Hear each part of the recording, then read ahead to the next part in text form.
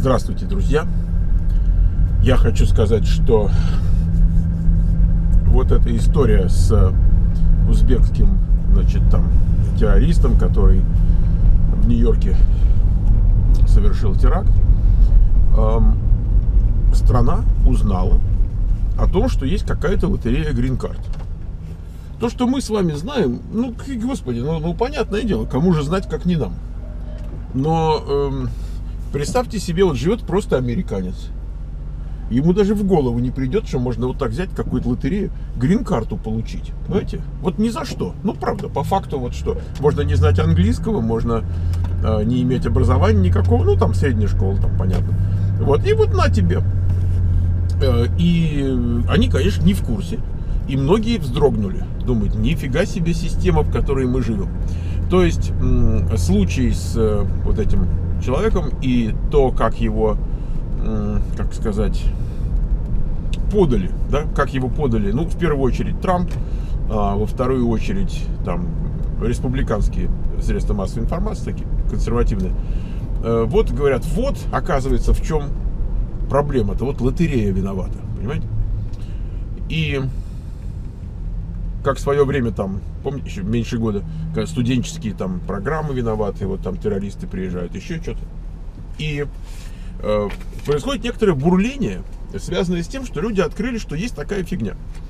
И э, там, как бы сказать, два момента не очень симпатичных. Первый момент не очень симпатичный состоит в том, что действительно вот человек приехал там э, с этим делом по, по этой программе, совершил теракт. С другой стороны, по этой программе приехало много народу. Представьте там за с 90-го года сколько народу приехало. Один совершил теракт. Ну вот пишут, что не один, а вот пишут, что там в Лос-Анджелесе один тоже совершил теракт, тоже приехавший по лотерее, там где-то в 2000 году, не знаю. Я смотрел вчера новости по «Голос Америки», есть такое у них есть телевидение. «Голос Америки», там выступала женщина, которая работает на узбекском канале «Голоса Америки». Видимо, они на узбекском языке вещают. И вот она рассказывала, я говорю, ну вот ты тут в узбекской этой комьюнити, вот расскажи. И она говорит, у нас в Нью-Йорке узбеков там 50 тысяч, ну, может быть, в Нью-Йорке с окрестностями, 50 тысяч. Очень многие приехали по этой лотерее. И это вот как бы с одной стороны шок, с другой стороны она назвала, я не видел этого в прессе нигде, но вот она говорит, это уже восьмой, восьмой узбек в Нью-Йорке, который э, арестован и по этим делам. То есть терактов не было, но 8 человек либо уже сидят, либо находятся под следствием, либо там уже в процессах разных э, за связи там и так далее вот с террористическими организациями. И Короче, значит, первый негативный аспект состоит в том, что, ну, действительно, он приехал по этой визе. Вот так же, как те, которые э, наехали на, в смысле, совершили теракт э, в этих зданиях-близнецах 11 сентября, они в основном приехали по студенческим. Вопрос, студенческая виза виновата или что. И вот, э, да, второй момент состоит в том, что идет сейчас как бы анализ. Общество начинает смотреть на эту визу. То есть раньше это все где там в Конгрессе происходило, там какие-то люди кулуарно посмотрели, там проголосовали, всем пофигу, там, ну, в смысле, обществу пофигу. А теперь общество, которому все время было пофигу, и оно даже не знало, оно даже не знало, что что-то там происходит. Значит, это общество начинает смотреть и говорит, боже, говорят они, но ведь это же вообще какая-то бессмыслица. Разве это то, как мы хотим, чтобы люди к нам приезжали? И, значит, начинается более широкое такое рассмотрение вообще, что у нас с эмиграцией творится и так далее, и так далее. Но вот как бы этот вот double такой негатив создает некоторые предпосылки, я бы сказал, а, для возможного. Мы не знаем, пойдет, не пойдет, но, но как бы э, для возможного, может быть, законодательного решения в индивидуальном порядке вопроса с green card лотереей. Потому что это то, что общество поддержит на раз. Включая, наверное, и демократов многих тоже. Поэтому как бы появится возможность у власти придержащих, появится возможность поставить себя, как бы сказать, в роль людей, защищающих страну от терроризма э, и объединивших, так сказать, усилия, в то время как э, проголосуют, проголосуют против не, не из-за терроризма, а проголосуют против, может быть, мы не знаем, как пойдет, может быть, э, из-за того, что бессмысленна вся эта лотерея. И вот общество впервые увидело какую-то бессмысленную фишку, которую раньше никто не обращал внимания. То есть внимание всего общества привлечено. И сегодня я почитал статейку в Нью-Йорк Таймс. И я хочу вам ее, может быть, немножко пересказать. Она у меня с собой тут лежит. Пересказать, потому что все-таки Нью-Йорк Таймс это либеральная газета. И она не нападает на лотерею с точки зрения вот той позиции, которая такая, я бы сказал, э, ну, недобросовестная, что ли, да? Вот как сейчас мы видим на республиканской стороне. Вот они пишут, что почти сразу после того, как Манхэттенский э, э, Манхэттенская террористическая атака произошла во вторник, президент Трамп обвинил Diversity, эту лотерею, по которой приехал узбекский иммигрант, который, значит, вот все это сделал. И обвинил, значит, во всем э, э, демократов и конкретно сенатора Шумера. Дело в том, что Шумер в 90-м году, когда это все происходило, он был одним из тех, кто активно продвигал эту лотерею, и было это... Он тогда был в палате представителей. Вот, но, но ну, читаем дальше. И как это часто бывает, он э, ошибается с фактами. Э, в частности, за политическую так сказать, ответственность за эту программу, когда, которую поддерживали обе партии э, почти там 25 лет и так далее. Ну, я, я бы сказал, что не все 25 лет, ну да, поддерживали, да, поддерживали. И Трамп действительно прав э, в том, что лотерея как бы не нужная, какая-то плохая штука. То есть он не прав в том, что виноваты демократы, и что в частности Шумер виноват. Кстати, Шумер, э, Шумер был э, согласен был на то, чтобы лотерею закрыть в 2013 году, когда реформа была. Э, и вот эта группа из восьми сенаторов, то ее тут называли Gang of Eight, да, вот это, он был одним из этих Gang of Eight. И она подразумевала закрытие лотереи. То есть не то, что он уже прямо какой-то такой безумец там, который вцепился в эту лотерею. Нет, но это как бы неправда все.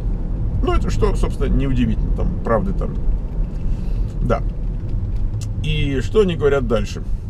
Э, значит, факти, по факту, около миллиона грин-карт выдается примерно в год, и вот 50 тысяч э, идут через эту лотерею. И действительно, там не так много условий.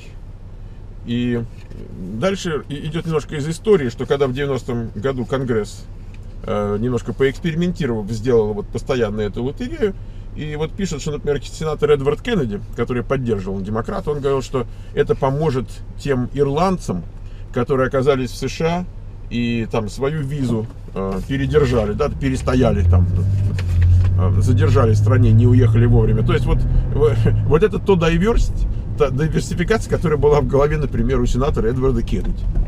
Но, тем не менее, тем не менее, э, как бы я читал когда-то, что вот человек, который вообще это все изначально очень сильно продвигал, он говорил, что надо бы из Африки подвести народ. Вот, а то как-то несправедливо получается. Все остальные приезжают, а из Африки у них родственных связей вот нету и так далее. Как-то вот как они попадут в США. Да, говорят, победители лотереи сегодня, у них плохо и с образованием, чуть-чуть. У них образование чуть-чуть, э, профессиональных навыков может там практически тоже никаких не быть. Э, английский может быть на нуле, да. В общем, вот как бы требований никаких нет. Э, мы можем сказать, мы с вами знаем, что среди победителей лотереи есть люди с образованием, и с английским, и все что угодно, но как бы это не подразумевается. Это как бы дополнительный такой бонус, неожиданный. И в то время как родственники людей, которые являются гражданами и э, обладателями грин-карт, в то время как их родственники должны там годами, иногда десятилетиями ждать там получения визы в США, какие совершенно случайные люди, вот, значит, так вот бах, и, и вот тут. При том, что еще не образованные, без профессии, без языка. Эм, и люди, которые обладают квалификацией высокой и могли бы, например, там приехать в США по работе, но не дотягивают до вот H1B, например, ну не дотягивают, а в то же время, скажем, может быть, хорошие рабочие там и что а, и английский есть, и все, они тоже не могут попасть, потому что тут лотерея, а как бы по достоинствам не получается. Чего у нас дальше? Так.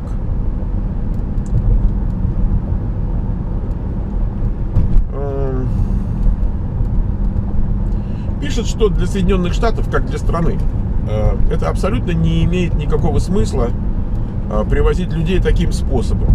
Это пишут либералы, это не пишут консерваторы. Я просто к чему вам рассказываю, что идет некий анализ. Идет анализ, которого раньше никогда не было. Никогда общество не смотрело пристально на лотерею, никогда не пыталось анализировать вообще, насколько это э, правильно, неправильно, хорошо, для чего это нужно и так далее. Э, да, говорит, это правда, что э, какие-то из этих иммигрантов как бы полезны, и, но это и не удивительно, если там взять миллион человек, которые приехали за это время, там, с 90-го года.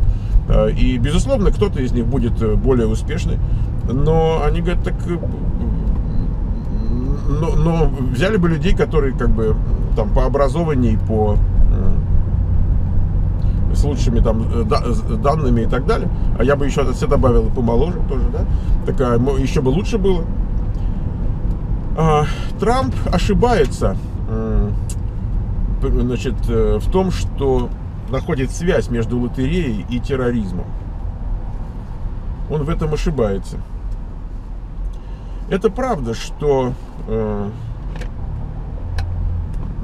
этот самый Сайфуло Салипов э, не первый террорист э, из победителей Грин-карт лотереи. Вот пишут, что в Лос-Анджелесском аэропорту международном в 2002 году, там еще был такой случай, э, и это правда, что э, те, кто выиграл в лотерею, а, проходят через определенный контроль, через скрининг очень серьезно. Это не то, что вот там показал там бумажку и проходи. Конечно, нет. Мы, мы, мы-то все знаем, что там идет э, как бы определенный процесс.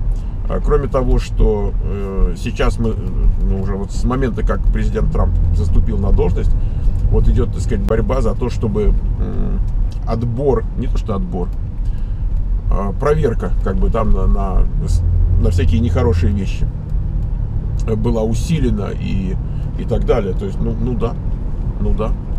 Вот, это можно усилить, конечно.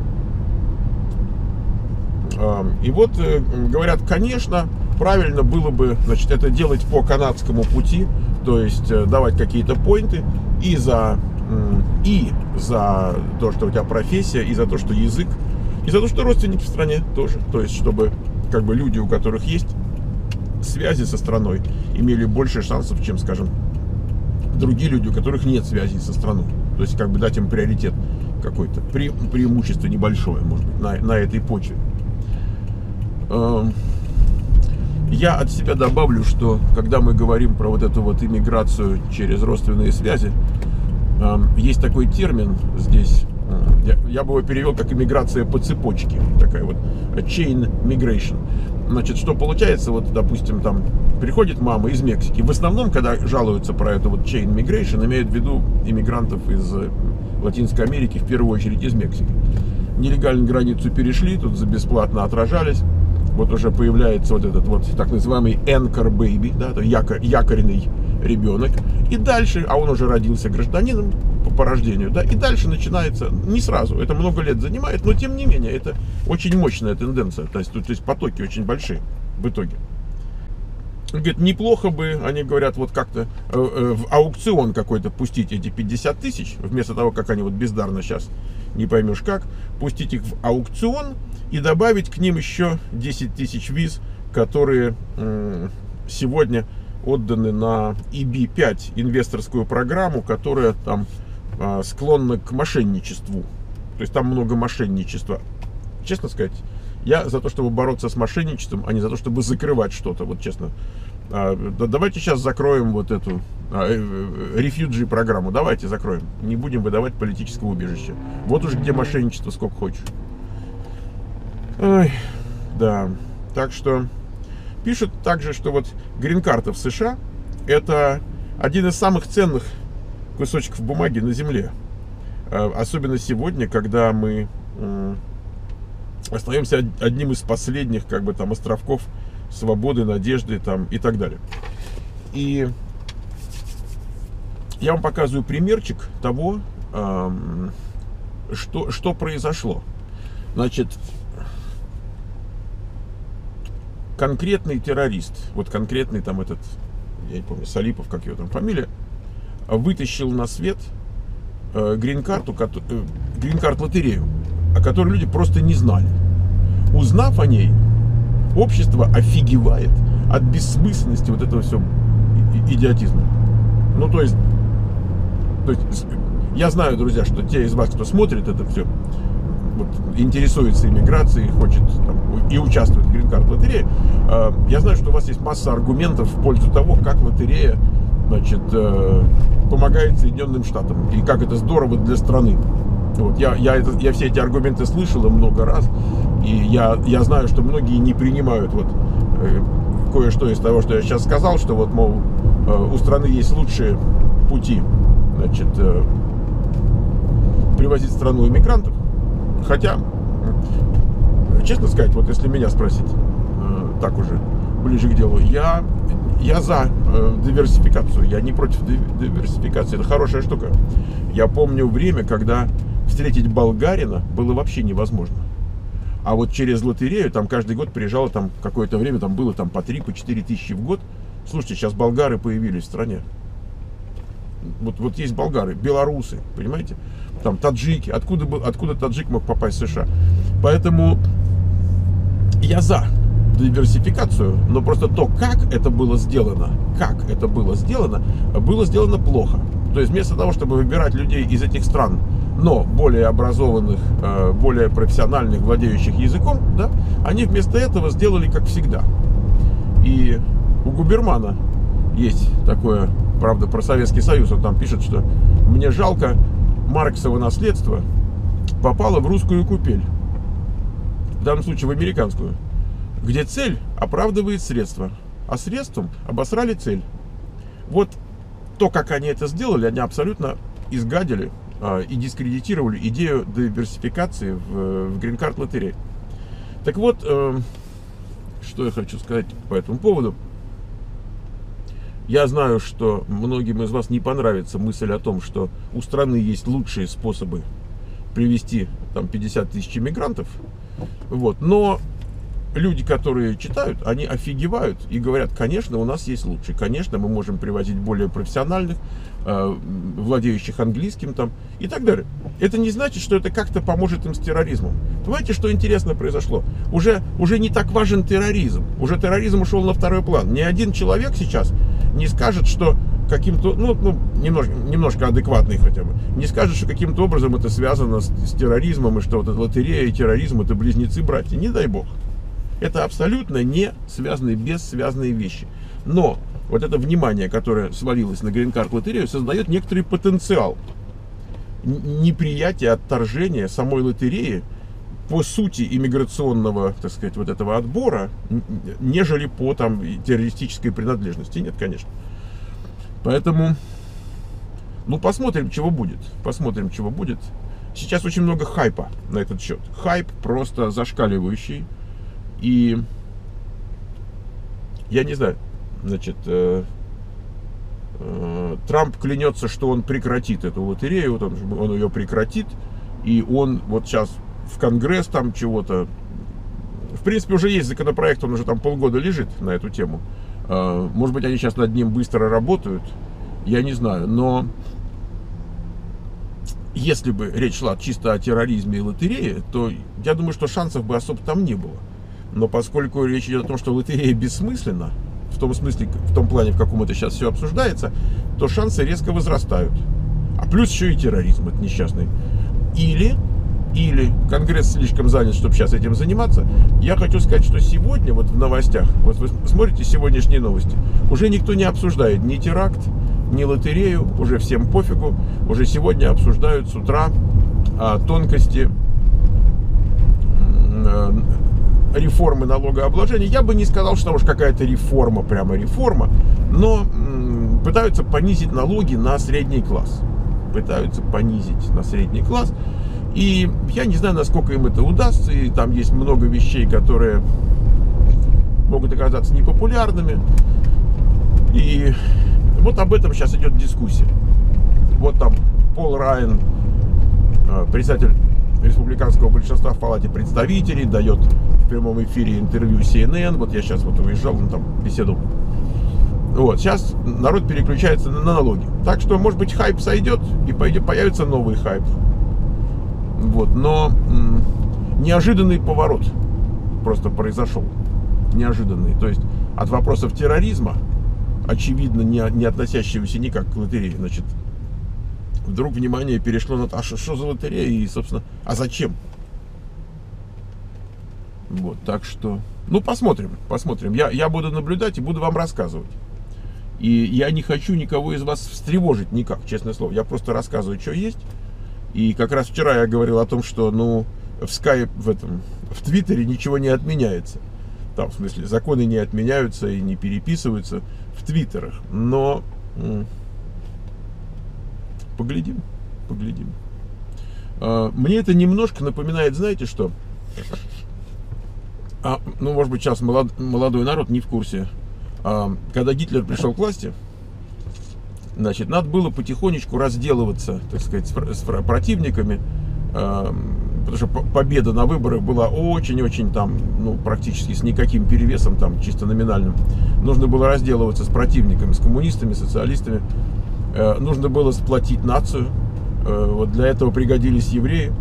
Э, и вот, значит, было на чем сплотить. И вот в качестве буквально первого шага, значит, там был разыгран поджог Рейхстаг, Рейхстага коммунистами. И вот коммунистов, значит, там, там какую-то группу коммунистов судили. Если вы слышали когда-нибудь про Георгия Димитрова, вот, ну не суть. Это болгарский коммунист, его потом Советский Союз, значит, там забрал у Германии, дал ему гражданство и так далее. Такая большая история. Э, к чему я говорю? Вот, э, вот это мне напоминает поджог Рейхстага, Рейхстага коммунистами. Понимаете? Вот так грин-карт лотерея, значит, э, подожгла, значит, тер, разожгла терроризм тут в стране у нас. В общем, такая вот, вот такой зашкаливающий идиотизм, но вот кому-то это выгодно, конечно. Я еще, знаете, что вспоминаю? Я вспоминаю, когда был теракт совсем недавно. Был теракт в Лас-Вегасе, сейчас уже никто даже не вспоминает. И толпа народ погибла. А, и э, на, на стороне демократической партии есть люди, которые много лет подряд говорят, что нужно там э, ужесточить правила продажи оружия. Ну, в частности, вот это вот полуавтоматическое оружие надо, надо бы запретить. И и я, ну я поскольку разные читаю, там и левые, и правые, там всякие. И, и вот на консервативной стороне их совестили. Я говорю, как несовестно сшибать какие-то политические дивиденды, когда еще тела там не остыли. Как, как несовестно. И вот я смотрю, а тут еще тела не остыли, и никому не совестно. Знаете, никому не совестно сшибать там э, политические дивиденды. Вот э, они с одной стороны стыдятся, с другой стороны вроде только, только и ждут возможность такую. Так что мерзко. Вот я хочу сказать, что мерзота. Мне, мне это все очень-очень не нравится. Так что... Ну, в общем, посмотрим. Ладно. Счастливо.